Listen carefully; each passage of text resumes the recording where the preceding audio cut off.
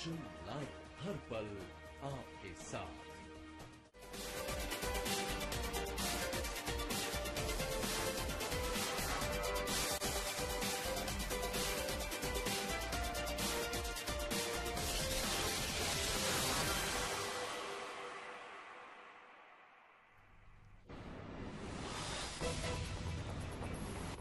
लोकसभा चुनाव से पहले मोदी का नया दाव, दिल्ली की अनऑथराइज्ड कॉलोनी को ऑथराइज करने के निकालेंगे उपाय।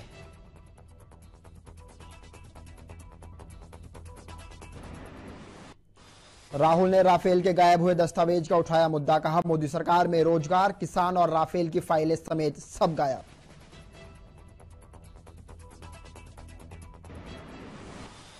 अब आरजेडी नेता तेजस्वी और तेज प्रताप ने भी केंद्र को घेरा, कहा, सुरक्षा की अंतिम गारंटी चौकीदार की नहीं, थानेदार की जनता है, थानेदार देगी सजा। संत कबीर नगर में बीजेपी के सांसद और विधायक के बीच जूतम पैजार की वीडियो हुई वायरल। लखनऊ हुए तलब।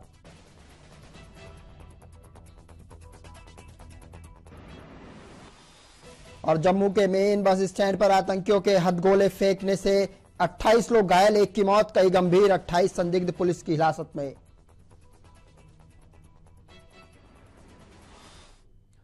नमस्कार, नेशनल लाइव में आपका स्वागत है। मैं हूँ अंशुल कौशिक। प्रधानमंत्री नरेंद्र मोदी ने पहली बार बीस रुपए का सिक्का जारी किया है। प्रधानमंत्री मोदी ने गुरुवार को बीस रुपए के नए सिक्के के अलावा एक रुपया, दो रुपए, पाँच रुपए और दस रुपए के नए सिक्के भी जारी किए। यह सिक्का दिव्यांगों के लिए खास है। इन सिक्कों को वे आसानी से पहचान सकते हैं। ये सिक्के 27 एमएम आकार के होंगे। हालाँकि बीस रुपए के सिक्के के किनारे कोई निशान नहीं होगा। सिक्के की आउटर रिंग पैंसठ फ़ीसदी कॉपर, पंद्रह फ़ीसदी जिंक और बीस फ़ीसदी निकल होगा। जबकि अंदर की डिस्क में पिछहत्तर फ़ीसदी कॉपर, बीस फ़ीसदी जिंक और पाँच फ़ीसदी निकल होगा।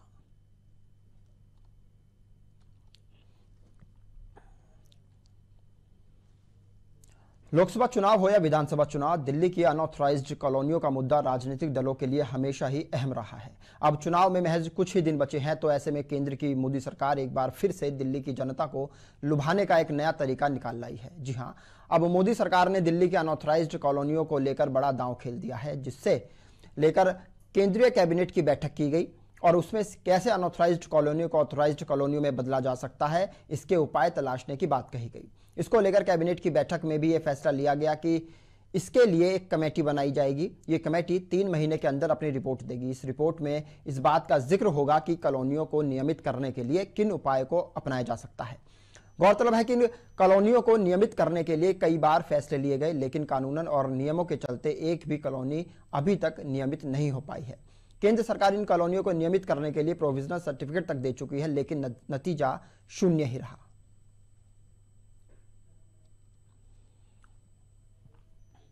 राफेल डील पर सुप्रीम कोर्ट में सुनवाई के एक दिन बाद फिर से ये मुद्दा गर्मा गया है। इस मामले पर कांग्रेस और बीजेपी एक बार फिर आमने सामने आ गई है। अब इस बार राहुल गांधी ने प्रेस कॉन्फ्रेंस करके आरोप लगाया कि राफेल के गायब हुए दस्तावेज़ में साफ़ लिखा है कि नरेंद्र मोदी इस रक्षा सौदे में समानता सौदेबाजी कर रहे थे। अब ये बात हर कोई कह रहा है। उन्होंने कहा कि राफेल डील में नरेंद्र मोदी ने बाईपास सर्जरी की है। राहुल ने इस मामले पर बीजेपी को घेरते हुए कहा कि राफेल से जुड़े दस्तावेज़ गायब हुए हैं। तो इसका मतलब यह है कि इन कागजों में कोई ना कोई सच्चाई तो ज़रूर है।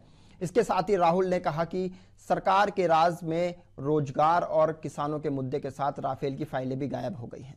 मोदी सरकार का काम सब कुछ गायब करना है। उन्होंने कहा कि जिनका नाम कागजों में है, उन पर कार्रवाई होनी चाहिए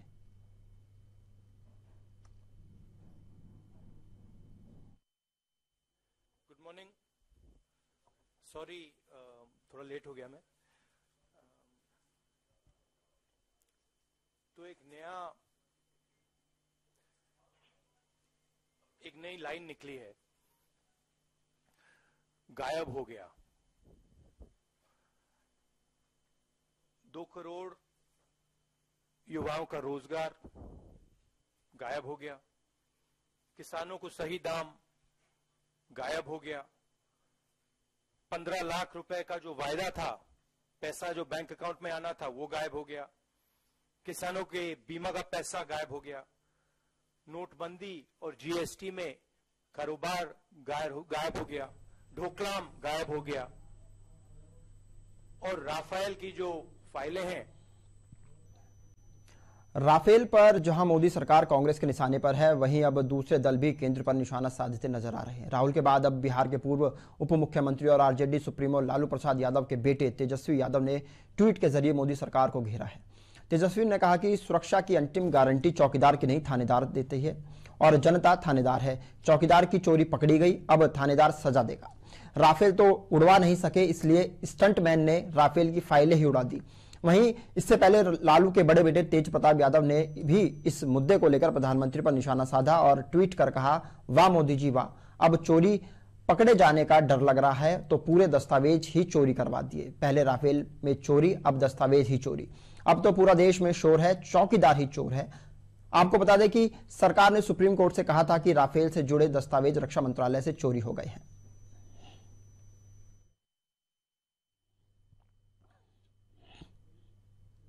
2002 गुजरात दंगा मामले में सुप्रीम कोर्ट ने बाबू बजरंगी को जमानत दे दी है। बाबू बजरंगी को नरोदा पाटिया मामले में दोषी ठहराया गया था। बजरंगी को स्वास्थ्य कारणों से जमानत मिली है।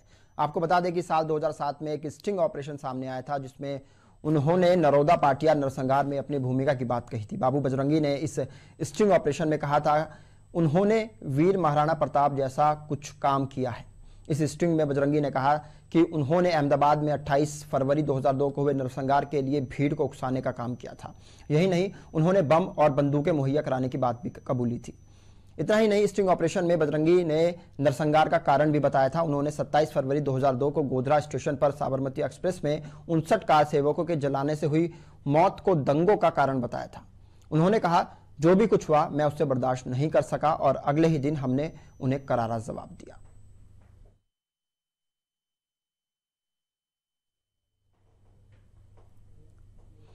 बागपत के थानों में सौंदर्यकरण का कार्यक्रम आयोजित किया गया, जिसका एसपी शैलेश कुमार पांडे ने उद्घाटन किया। आपको बता दें कि बिनौली थाने के बाद दोगठ थाने का सौंदर्यकरण किया गया है। वहीं ज़िले के एसपी ने कहा कि ज़िले को साफ़ सुथरा रखना हम सबका दायित्व है। वहीं उन्होंने जनता से लोकसभा चुनाव और होली के त्योहारों पर शांति बनाए रखने के लिए पुलिस प्रशासन का सहयोग करने की अपील की। इस मौके पर बड़ौद के सीओ रामानंद कुशवाहा भी मौजूद रहे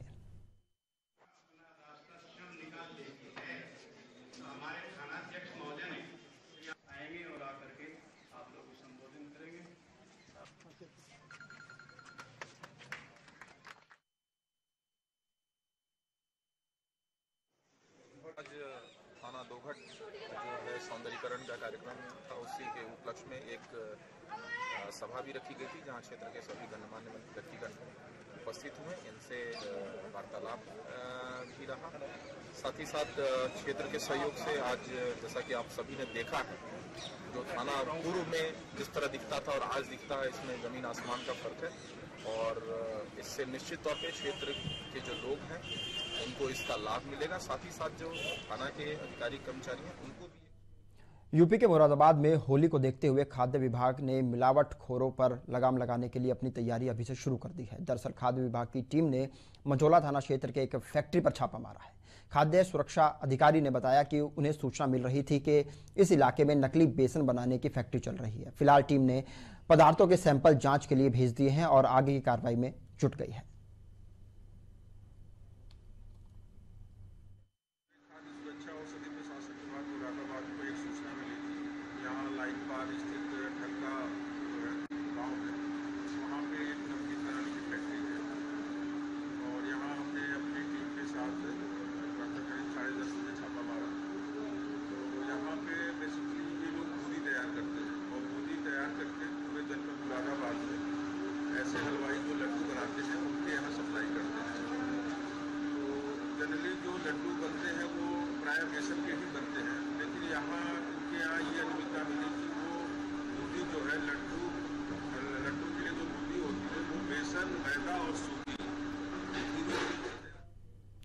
यूपी के मुरादाबाद से एक मामला सामने आया है, जहाँ व्यापारियों ने रास्ता बंद होने से नाराज़ होकर ट्रैफ़िक पुलिस समेत एसपी ट्रैफ़िक का घेराव किया। साथ ही व्यापारियों ने जमकर हंगामा काटा और नारेबाजी भी की।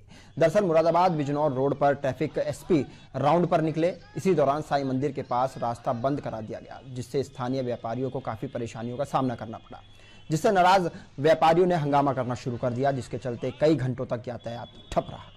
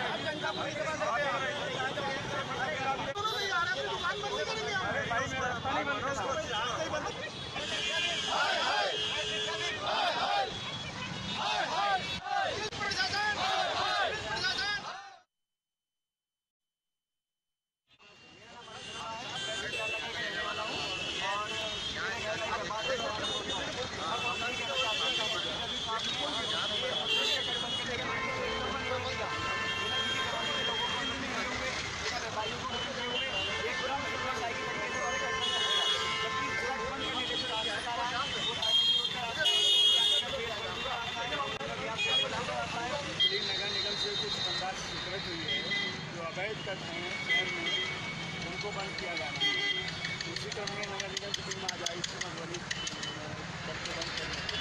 तो यहाँ के व्यापारी लोगों ने लोग आ गए थे वो थोड़ा विरोध किया अब हम लोगों ने इसको बात करके किया है कि इसके जो आस पास के लोग हैं वो बंद करेंगे और वो बंद नहीं करेंगे इसके पहले का और बाद वाले का गाड़ी करके चुनाव आयोग छत्तीसगढ़ के बिलासपुर में बदमाशों का कहर थमने का नाम नहीं ले रहा है। ताज़ा मामला सकरी थाना क्षेत्र के सामने आया है, जहाँ बेखौफ दो अज्ञात बदमाश स्कूल के चपरासी की स्कूटी लेकर फरार हो गए।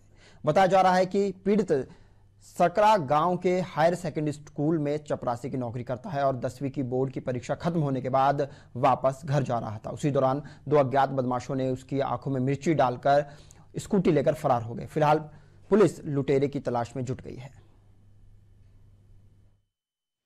गाड़ी एक्टिवा चोरी हो गया लूट के ले गया। कैसे हुआ?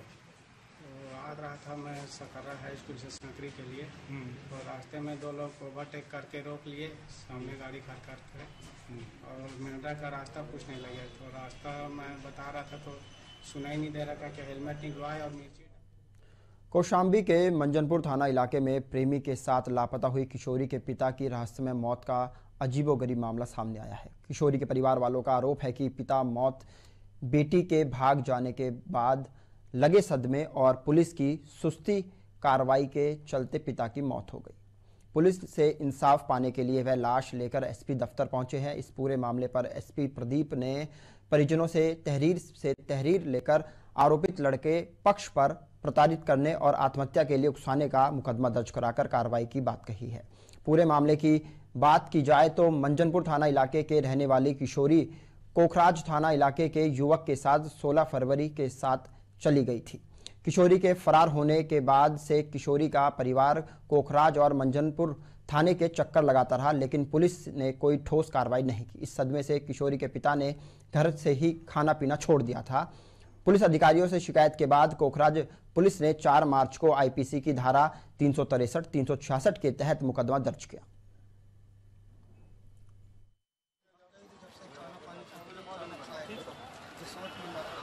भाग गई मिल नहीं रही थी क्या करें बाल चार रोज गए साहब कोई वहाँ नहीं दिखत रहे तो राज में यहाँ लिखे न तो फिर बाद में जाके लिखी चार तारीख को लिखे सोलह को उस क्षेत्र की एक लड़की कुखराज थाना क्षेत्र के एक लड़के के साथ कहीं चली गई है। इसका मुकदमा थाना कुखराज पे पंजीकृत है। आज जो लड़की के परिजन हैं, उन्होंने आरोप लगाया कि उनके लड़की के पिता को कुछ लड़के वालों ने अपशब्द कहे उलाहना दिया, जिससे प्रताड़ित होकर उसने सुसाइड कर लिया है, एक तहरीर दी है, उस तहरीर पर मुकदमा कायम किया जा रहा है। लड़की का पिता बताया गया, विकलांग भी था, बीमार भी था, और सभी तथ्यों की जाँच की जा रही है, मुकदमा कायम करके। असम के बलिटाला ग्राम को सांसद रमन डेका ने एक आदर्श ग्राम बनाने का वादा किया था, लेकिन ये सपना ग्रामीणों के लिए सिर्फ़ और सिर्फ़ सपना बनकर ही रह गया। दरअसल बालिटारा मंगलदोई लोकसभा के अंतर्गत आता है, इसके सांसद रमन डेका हैं। आपको बता दें कि गाँव में पानी की समस्या इस कदर है कि लोगों को अपने घरों से काफ़ी दूर जाना पड़ता है। वहीं खराब पानी के कारण लोगों की तबीयत भी खराब हो रही है। दरअसल सांसद रमन डेका ने इस गाँव की समस्या दूर करने का वायदा किया था और गाँव के हर घर तक पानी पहुँचाने का भी वायदा किया था। लेकिन ग्रामीणों का कहना है कि गाँव में ना तो अभी तक पानी की समस्या दूर हो पाई है और ना ही गाँव में स्वच्छता के लिए कोई काम हुआ है।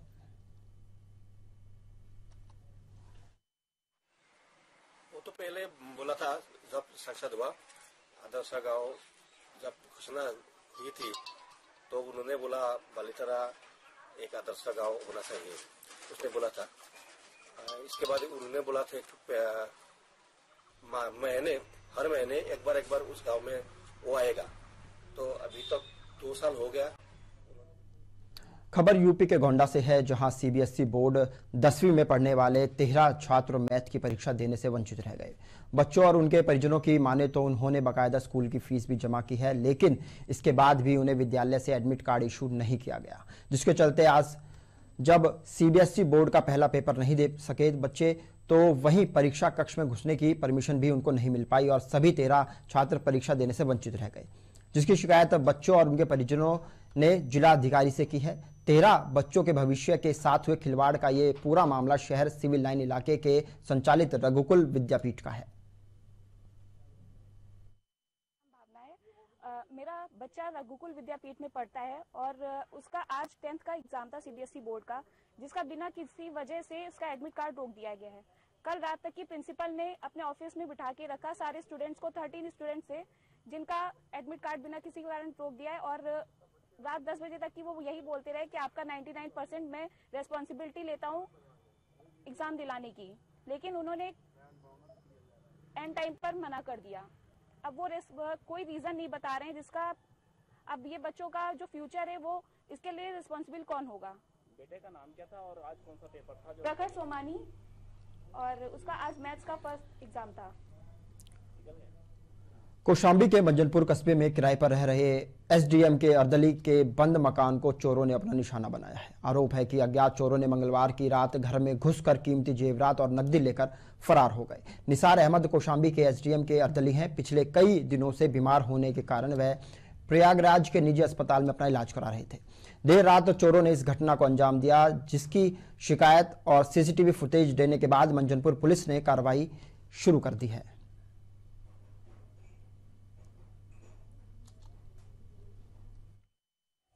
ये घर तो हमारा है, लेकिन इसमें एटीएम चपरासी सार अहमद जिनका नाम है, वो रहते हैं, उनके छोटे छोटे बच्चे तीन हैं, वो हमारे घर में सो रहे थे। और उनकी तबीयत खराब होने से इलाहाबाद में भर्ती हैं, दवा चल रही है उनकी, रात में अचानक ताला तोड़ के उन्होंने ऐसा किया, सुबह सीसी कैमरे में देखा गया, उनको कैद किया गया है। पुलिस अब तक का पुलिस भी यही छानबीन किया है। अभी कोई गिरफ़्तार नहीं कर सकी, न सामान बरामद हो चुका है। सामान हमारा दे जाए ज़्यादा अच्छा है। कितना करीब सामान गया सामान करीब चालीस हज़ार सामान गया। जेवरात जो थे नकदी करीब दस हज़ार रुपए थे। रखे गए दोनों गए। नाम बता दीजिए जियाउद्दीन हमारा नाम नगर फ़र्स्ट मंजिल एक कस्बे में चोरी हुई है बंद घर था। जिनका घर है वो इलाहाबाद में थे भर्ती कर भर्ती थे। और आ, उसी दौरान चोरी की घटना हुई है। सीसीटीवी फुटेज मिला है। उसमें दो तीन लोगों के चेहरे आए हैं। बहुत जल्दी इस घटना का अनावरण किया जाएगा। ताकि अभियोग का पीतल नगरी के नाम से मशहूर मुरादाबाद ज़िले में पीतल फैक्ट्रियों में काम करने वाले कारीगरों के लिए जागरूकता अभियान चलाया गया जिसके ज़रिए कारीगरों को वीवीपैट मशीन की जानकारी दी गई। आपको बता दें कि प्रशासन की तरफ़ से ईवीएम मशीन को लेकर पीतल फैक्ट्रियों में काम करने वाले कारीगरों को मतदान के लिए जागरूक कर रहा है। गौरतलब है कि लोकसभा चुनाव 2019 के लिए जल्द ही आचार संहिता लागू होने वाली है। ऐसे में प्रशासन ने पीतल फर्म में काम करने वाले कारीगरों और मजदूरों को मतदान के लिए जागरूक किया है।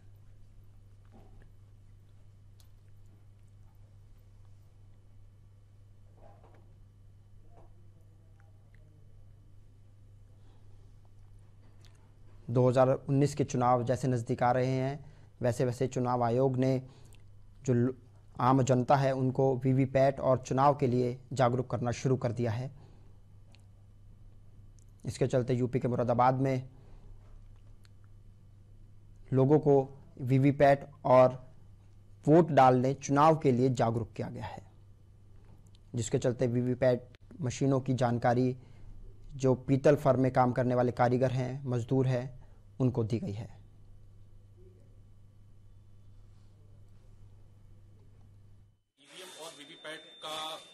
दिया जा रहा है जहाँ पर स्केल में मतदाता हैं हमारे।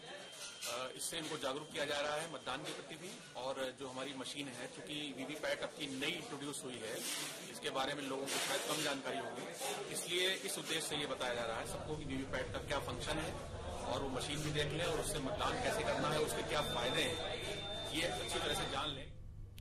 असम के लखीमपुर ज़िले में नावबैसा डेवलपमेंट ब्लॉक में बड़े घोटाले का मामला सामने आया है। यहाँ बीडीओ और अकाउंटेंट पर ही लाखों के घोटाले का आरोप लगा है। खबर है कि नावबैसा डेवलपमेंट ब्लॉक की बीडीओ बनज्योति गोगोई ने ब्लॉक के ही अकाउंटेंट निर्मल चंद्रपॉल के साथ मिलकर मनरेगा स्कीम में लाखों रुपए का घोटाला किया है। वहीं इस पूरे मामले के सामने आने के बाद पुलिस को इसकी जानकारी दी गई।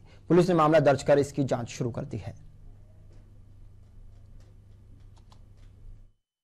हमारे पास में कुछ वीडियो ने लेटर लिखा है कि ऐसे कुछ चलान फॉरेस्ट का चलान आ रहा है और उनको फर्जी लग रहा है।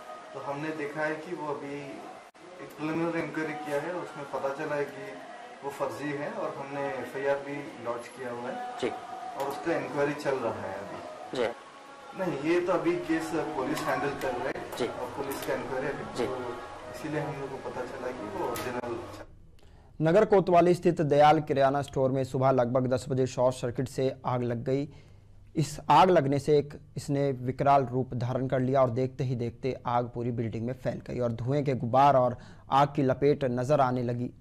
सूचने पर पहुँची फायर ब्रिगेड की आधा दर्जन गाड़ियाँ आग पर काबू पाने की जद्दोजहद में लगी रही। फ़िलहाल आग पर पूरी तरह काबू तीन घंटे बीत जाने के बाद पाया गया। आग शहर के बीचों बीच स्थित बाबागंज के व्यवसायिक इलाके में लगी थी, जहाँ एक तरफ़ से तमाम दुकानें मौजूद हैं। आसपास की दुकानों को भी आग लगने का खतरा देखते हुए लोग दुकान और मकान छोड़कर निकल गए। आग की लपटों को देखकर व्यापारियों राहगीरों की हज़ारों की संख्या में भीड़ जमा हो गई, जिसके चलते प्रयागराज अयोध्या हाईवे घंटों से जाम रहा। रूट भी डाइवर्ट कर दिया गया था। इस आग के चलते लाखों की नुकसान बताया जा रहा है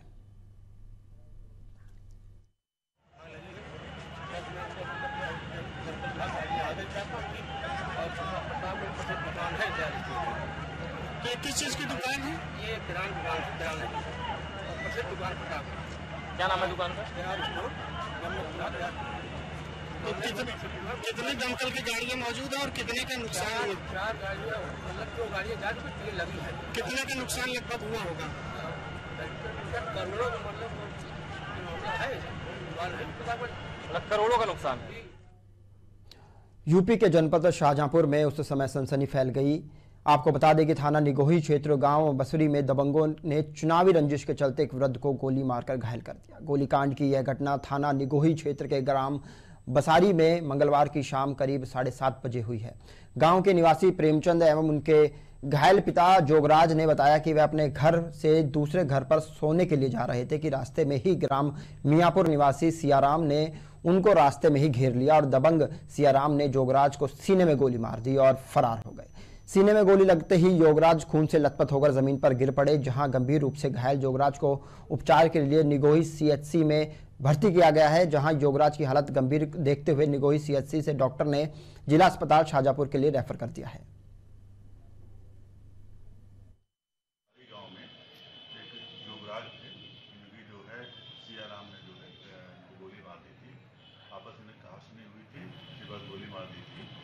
घायल थे।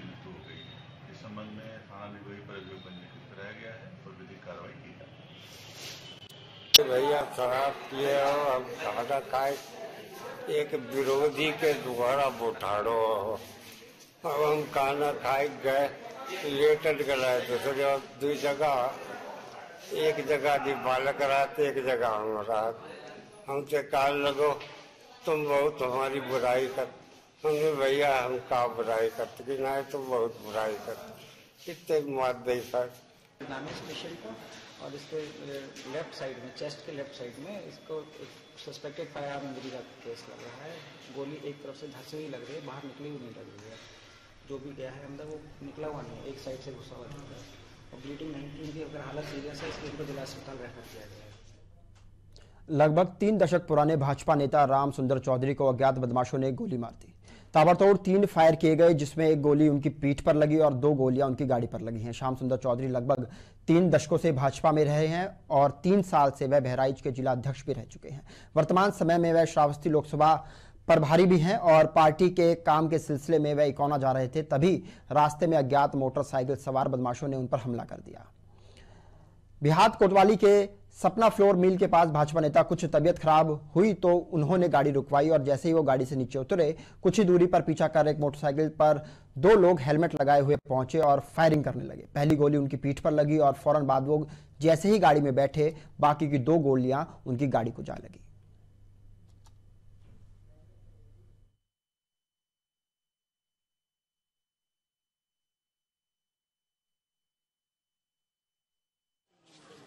सुंदर चौधरी जी हैं, जो बहराइच के रहने वाले हैं। इनका अक्सर जो मूवमेंट है, वो बहराइच से इकोना, श्रावस्ती, बलरामपुर की तरफ़ रहता है। आज भी अपने ये इसी काम से अपने एक साथी उपाध्याय जी के साथ सुबह नौ बजकर दस मिनट के करीब अपने घर से निकले थे इकोना जाने के लिए, किसी से मुलाकात करने के लिए। वहीं इनका कहना है कि सपना फ्लोर मिल के पास ये रुके रुके उतरे अपनी गाड़ी से तो पीछे से दो लोग मोटरसाइकिल से आए हैं।